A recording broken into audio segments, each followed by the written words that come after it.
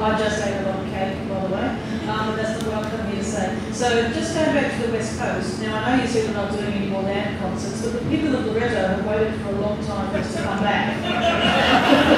It's early, but I mean, I, I, yeah, I love that land. You know, we did a number of land shows, and they were never quite as uh, satisfying. They never, none of the other places we did them had, had the same high, the same ratio of like how difficult and complex it was to do, and how awesome it ended up being.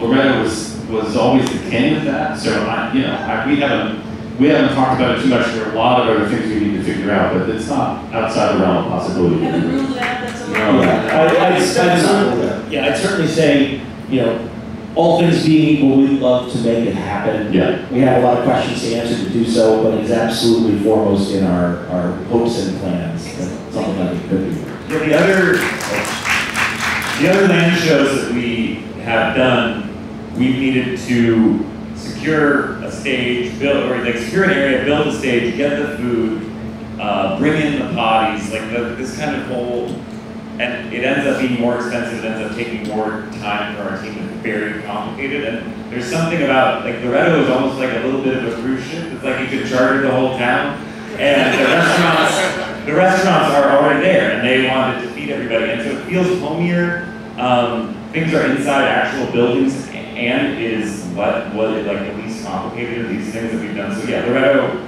Loreto's our And, first love. and also during March and April, the chance of raining on any given day in Loreto is approximately two percent.